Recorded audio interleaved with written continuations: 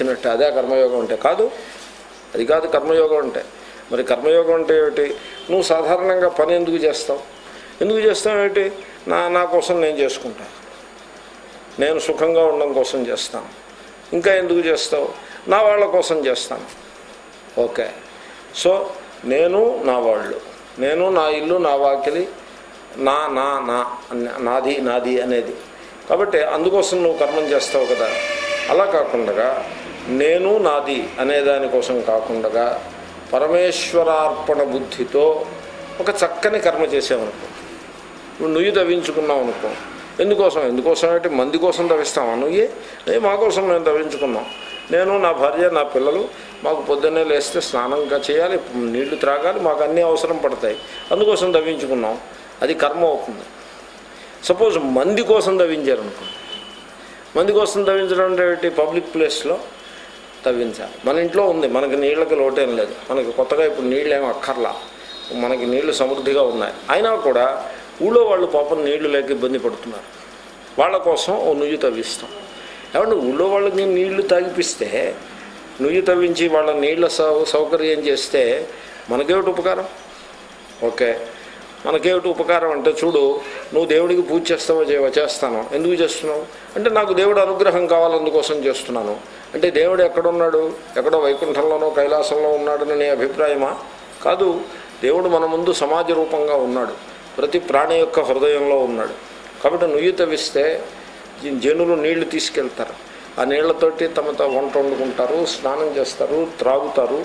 ఆ జ- స్నానం చేసినప్పుడు ఎంతో ఉల్లాసం కలుగుతుంది. అంటే హృ- ఆ వారి హృదయంలో ఉండే పరమేశ్వరుణ్ణి మనం ఆరాధించినట్టు. దప్పిగా ఉన్నవాడు ఆ నీరు త్రాగి సంతోషిస్తాడు. వాడి హృదయంలో ఉండే పరమేశ్వరుణ్ణి మనం ఆరాధించినట్టు. కాబట్టి ఈశ్వరుణ్ణి ఆరాధించడం అంటే గుడికో లేకపోతే ఇంట్లో పూజా గృహంలోకో పూజ రూమ్లోకో వెళ్ళి అక్కడ ఉండేటువంటి విగ్రహాన్ని ఆరాధించటం అది అది మాత్రమే ఈశ్వరారాధన అనుకోకూడదు. అది ఒక ప్రైమరీ లెవెల్ ప్రారంభ స్థాయి ఈశ్వరారాధన అంతకంటే పై స్థాయి ఈశ్వరారాధన ఏమిటంటే ప్రతి మానవుని హృదయంలో ఆత్మరూపంగా ఉన్న ఈశ్వరుణ్ణి ఆరాధించటం. కాబట్టి అది కర్మయోగం అవుతుంది ఇప్పుడు చూడండి డబ్బు ఖర్చు పెట్టి ఏదైనా పని చేయాలి. ఆ పెట్టిన ఖర్చుకి నాకేమీ ఫలం రాదు. అయినా కూడా నేను ఉత్సాహంగా ప్రేమతో శ్రద్ధతో డబ్బు ఖర్చు పెట్టి ఒళ్ళు ఉంచి శ్రమదానం చేసి నేను కర్మను చేస్తున్నాను అంటే కర్మ ఫల తృష్ణని పూర్తిగా త్యాగం చేసిన తర్వాతనే అటువంటి కర్మని మనం చేయగలుగుతాం. అంతే కదండి? ఇప్పుడు స్వీట్లు కొనాలనుకోండి దేనికోసం స్వీట్లు కొంటాం? ఎందుకు వేసినాడు రెఫ్రిజిరేటర్లో పెట్టుకుని మేమే తినడం కోసం కొంటాం? అలా కాదు. ఎవరికో పెట్టడం కోసం స్వీట్లు కొంటే అది కర్మయోగం అవుతుంది. కాబట్టి ఈ విధంగా కర్మయోగంలో అసలు మీరు కర్మయోగం దిశలో అడుగు వేశారంటే మొట్టమొదటి అడుగు ఏమిటంటే కర్మఫల త్యాగము. త్యాగం ఉందా లేదా? ఉంది. నిజానికి సన్యాసి అనేవాడు ఏదో ఓసారి త్యాగం చేసి వదిలి వదిలిపోతుంది. ఆ త్యాగం అక్కడితో ఆఖరం ఒకేసారి త్యాగం చేసి పారేస్తాడు. వెరాజ్ గృహస్థు తెల్లారితే త్యాగం ప్రారంభం. ప్రతిరోజు త్యా పొద్దున్న త్యాగం చేయాలి మధ్యాహ్నం త్యాగం చేయాలి సాయంకాలం త్యాగం చేయాలి మళ్ళీ మొన్నాడు త్యాగం చేయాలి. వేరే సన్యాసికి ఏదో ఓసారి త్యాగం చేసి పారేసాడు ఇంక రోజు రోజు చేయనక్కర్లా. కాబట్టి ఓ రకంగా శ్రద్ధాళువైనటువంటి గృహస్థు యొక్క త్యాగమే కఠినమైనది. దాంట్లోనే క్లేశం ఉంటుంది. ఎందుకంటే గృహస్థికి అన్ని రకాల పుల్స్ ఉంటాయి. అనేక బాధ్యతలు ఉంటాయి. రెస్పాన్సిబిలిటీస్ ఉంటాయి. ప్రెషర్ టైం ఉంటుంది. ఆ టైంని ఇంట్లో పనులకు వినియోగించాలి. ఆ కొంత టైంని తీసి మనం సమాజ సేవకు వినియోగించాల్సి ఉంటుంది. అది కష్టమే. అరే సన్యాసికి వాడు మొత్తం మొత్తం అంతా వదిలి కూర్చున్నాడు. వాడికి ఇంట్లో పనులు అంటూ ఏ ఉండవు. కాబట్టి ఒక రకంగా గృహస్థు చేసేటువంటి త్యాగం ఏదైతే ఉన్నదో అది సన్యాసి చేసే త్యాగానికి ఏం తక్కువది కాదు. ఒకప్పుడు కొంచెం కష్టం కూడా. కాబట్టి గృహస్థికి సన్యాసికి లేదా ప్రవృత్తి మార్గంలో ఈశ్వరుని చేరుకునే ప్రయత్నం చేసేవాడికి నివృత్తి మార్గంలో ఈశ్వరుని చేరుకునే ప్రయత్నం చేసేవాడికి మరొక కామన్ పాయింట్ ఉంది. అదేమిటంటే త్యాగం. అయితే ఏమనిపిస్తుందంటే ఏమంటే త్యాగము అంటే అది సన్యాసికే ఉంటుంది కానీ ఈ కర్మయోగికి త్యాగం ఎందుకు ఉంటుంది అని ఎవడైనా భ్రమపడితే అది చాలా తప్పు. ఎందుకంటే అసన్యస్త సంకల్ప కశ్చన యోగి నభవతి. సంకల్పములను త్యాగము చేయని వాడు ఎవడైనా సరే వాడు కశ్చన అంటే వాడు గృహస్థైనా కావచ్చు లేకపోతే సన్యాసం స్వీకరించిన వాడైనా కావచ్చు. చూడ్డానికి సన్యాసం స్వీకరించినట్టుగా కనపడ్డవాడైనా కావచ్చు లేకపోతే గృహస్థాశ్రమంలో ఉన్నవాడైనా కావచ్చు. త్యాగము అంటే త్యాగము చేయకుండగా వాడు యోగి కాలేడు. ఏ యోగి కాలేడు? అటు కర్మయోగి కాలేడు ఇటు జ్ఞానయోగి కాలేడు. త్యాగం అనేది చాలా అవసరం. ఎందుకంటే పరిచ్ఛిన్నమైన లేదా అల్పమైన అహంకారం ఉంటుంది. ఆ అల్పమైన అహంకారానికి ఉండేటువంటి లక్ష్యాలు ఆకాంక్షలు ఆశలు ఆశయాలు భయాలు ఇవన్నీ కూడా కలుషితమైనవే. వాటిల్లో సారమే ఉండదు. కానీ అలా అనిపించదు. జీవితం అంతా కూడా ఈ అల్పమైన అహంకారానికి ఉండేటువంటి ఆశలని భయాలని సర్దుబాటు చేయటంలోనే మొత్తం జీవితం అంతా ఖర్చు అయిపోతుంది. ఆఖరికి వాడికి మిగిలిదే ఉండదు. కాబట్టి ఆ సత్యాన్ని గుర్తించాలి. వాడు గృహస్థ సన్యాస అన్నది ముఖ్యం కాదు. కశ్చన అంటే ఎవడైనా కావచ్చు. గృహస్థైనా కావచ్చు సన్యాసైనా కావచ్చు. ఇక్కడ టాపిక్ గృహస్థ సన్యాసుల మధ్య కాబట్టి కశ్చన వాడు గృహస్థైనా కావచ్చు సన్యాసైనా కావచ్చు. కానీ సంకల్ప త్యాగం చేయాలి. సన్యస్త అసన్యస్త సంకల్ప. సంకల్ప త్యాగము అంటే సంకల్పము నుండి పుట్టేది కామన. కామనా త్యాగం చేయాలి లేదా సంకల్ప త్యాగం చేయాలి. ఏది తేలిక? ఇప్పుడు మొక్క ఉందనుకోండి మొక్క లేతగా చిగురించి దశలోనే దాన్ని నరకటం తేలిక? లేకపోతే అది బాగా పెరిగి కొంచెం కాండం గట్టిపడిన తర్వాత నరకడం మరింత కష్టం అవుతుంది అది బాగా ఓడలో విరిగిపోయి ఇంకా పెద్దదైపోతే అప్పుడు ఇంకా ఇంకా ఎక్కువ శ్రమ అవుతుంది కాబట్టి శ్రీకృష్ణుడు ఇక్కడ ఏమంటున్నాడంటే అంతకుముందు కామనాత్యాగం చేయమన్నాడు. ఇప్పుడు ఏమంటున్నాడంటే కామన దాకా నువ్వు అసలు రానివ్వకు. సంకల్పం లెవెల్లోనే దాన్ని త్యాగం చేసి పారాయి త్యాగం చేయాలి. చాలామంది ఏమనుకుంటారంటే ఏమంటే త్యాగం చేయమని చెప్పేస్తున్నారు బాగానే ఉంది. మాకు త్యాగం చేస్తే మాకు ఎలాగో రోజు గడవద్దా? మేము నష్టపోమా? మేము అని అని భ్రమపడతారు. కొంచెం లోతుగా ఆలోచిస్తే కానీ అది అనుభవం కానీ తెలియదు నిజానికి. మనం పట్టుకున్నప్పుడే దుఃఖాన్ని అనుభవిస్తాం.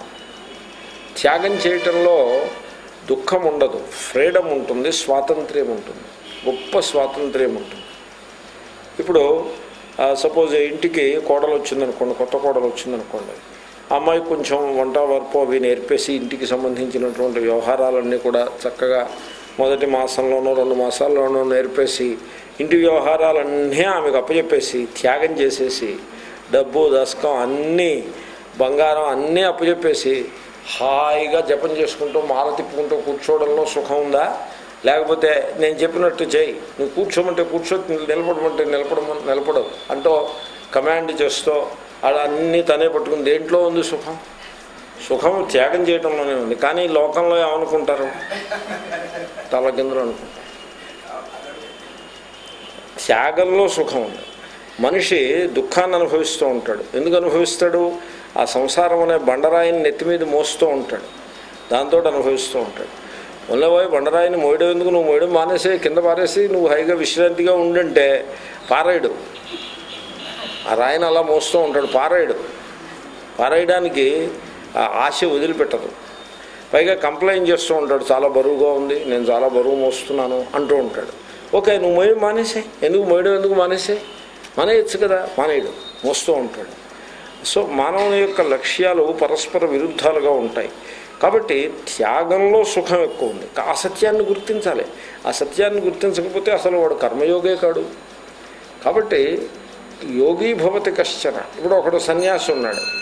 సన్యాసాశ్రమం స్వీకారం చేశాడు. సన్యాసిగా ఉన్నాడు. కానీ ఏ సంకల్పాన్ని విడిచిపెట్టలేదు. అప్పుడు వాడు జ్ఞానయోగ అయిపోతాడా? అవడు గృహస్థున్నాడు. నేను కర్మయోగాన్ని అనుష్ఠిస్తాను కర్మయోగ మార్గంలో నడుస్తాను అని అని పెద్ద పెద్ద ఒక ఒక సంకల్పం చేస్తాడు. ఒక నిర్ణయం తీసుకుంటాడు. సరే ఇంకా మొ- మొదలు పెడతాడు. కానీ దేన్ని విడిచిపెట్టడు? యోగ అయిపోతాడా? కర్మయోగ అయిపోతాడా? అవడు. కాబట్టి ఎవడైనా వాడు గృహస్థైనా సరే సన్యాసి అయినా సరే త్యాగం చేయాల్సి ఉంటుంది. సన్యాసం సన్యా సన్యాసం అంటే త్యాగము. త్యాగం చేయాలి. అంటే త్యాగం అంటే ఈశ్వరునికి సమర్పించుట అని అర్థం. సంన్యాసం. న్యాసం అంటే విడిచిపెట్టుట. ఎక్కడ విడిచిపెట్టాలి? సరైన చోట విడిచిపెట్టాలి. ఇప్పుడు ఏదైనా సరే దాని స్థానంలో దాన్ని విడిచిపెట్టాలి. ఎక్కడో అక్కడ విడిచిపెట్టేయటం కాదు. ఇప్పుడు మీ ఇంట్లో గోవు ఉందనుకోండి. మీరు ఈ గోవుని త్యాగం చేయాలనుకుంటే బంధువులతోటి సమీపంలో విడిచిపెట్టి వచ్చేయకూడదు. ఒక మంచి యోగ్యమైన వ్యక్తి ఈ గోవుని పెంచుకుని పాలు పిండుకుని ఆయన ఆయన భార్య పిల్లలు సుఖంగా జీవిస్తారు గోవుని కాపాడుతారు. అక్కడ త్యాగం చేయాలి. ఆక మీ దగ్గర అదనంగా ఆహారం ఉందనుకోండి ఎక్కడ త్యాగం చేయాలి? తీసుకెళ్ళి వేస్ట్ బాస్కెట్లో పారేయడమో? అలా చేయకూడదు. అది త్యాగం అనిపించుకోదు. ఒక ఆకలిగా ఉన్న మనిషిని ఒకరిని పట్టుకుని వాడికి సమర్పించాలి. అది త్యాగం. కాబట్టి త్యాగము కూడా సక్రమంగా చేయాలి. ఇప్పుడు ఈ కర్మ కర్మ చేసేప్పుడు కర్మ ఫలత్యాగం చేయమన్నారు. ఎక్కడ త్యాగం చేయాలి? ఈశ్వరుని ఎందు త్యాగం చేయాలి. ఈశ్వరార్పణ బుద్ధితో కర్మను చేయుట అంటే ఈశ్వరుణ్ణి మనస్సులో భావన చేసి కర్మఫలాన్ని త్యాగం ఈశ్వరుని ఎందు సమర్పించి వేసి తాను కర్మానుష్ఠానాన్ని చేస్తాడు. ఆ విధంగా కర్మఫల త్యాగం చేయాలి. అయితే ఈ త్యాగం చేసేప్పుడు కర్మ ఫలము అంటే సెకండ్ స్టేజ్ అయింది. ఫలము యొక్క సంకల్పం ఫస్ట్ స్టేజ్. ఎందుకంటే కామన అనేది సంకల్పాన్ని నుంచి పుడుతుంది. సో కామన అన్న సంకల్పం. ఇంతకుముందు ఒక శ్లోకం మీరు వినున్నారు. ధ్యాయతో విషయాన్ పుంస సంగస్తేషు ఉపజాయతే సంగాత్ సంజాయతే కామ. అక్కడికి మూడో స్టేజ్లో చెప్పారు కామన. మూడో స్టేజ్కి వచ్చాక కామన్ అయింది. ఫస్ట్ స్టేజ్ ఏమిటో తెలుసునండి? సంకల్పం.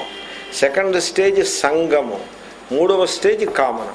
మీరు కామన స్టేజ్లో విధులు పెట్టచ్చు. ఇంకా తెలివైన పని ఏమిటంటే తెలివి తేలిక కూడా సంకల్పం స్థాయిలోనే విడిచిపెట్టేయడం. సంకల్పం ఇప్పుడు అది ఎలా వర్కౌట్ అవుతుందంటే ఇప్పుడు మీకు ఒక ఒక ఒక కామన తీసుకోండి ఏదైనా కామన తీసుకోండి. సపోజ్ ఏదో వజ్రాల నెక్లెస్ పెట్టుకో ఏదో కామన అనాలి కాబట్టి అంటున్నాను నేను ఏదో దృష్టాంతం చెప్పాలి కాబట్టి దీని బదులు ఇంకో దృష్టాంతం మీరు చెప్పుకున్నా చెప్పుకోవచ్చు. సో వజ్రాల నెక్లెస్ కొని పెట్టుకోవాలి ఊరికే తెగ అడ్వర్టైజ్ చేసి పారేస్తున్నారు. మా దగ్గరికి రండి మా దగ్గరికి రండి. మేము మజూరీలు మేమే పెట్టుకుని మీకు నగలు ఇస్తామని ఒకడంటే మజూరీలు లేకుండా నగలు ఎక్కడి నుంచి వస్తే వాళ్ళు మోసం చేస్తున్నారు. మేమే అసలు ఏ మోసం చేయని వాళ్ళం. మేమే మీరు మా దగ్గరికి వచ్చేయండి అని ఇంకొకటి అంటున్నాడు. ఓ తెగ అడ్వర్టైజ్ చేసేస్తున్నారు.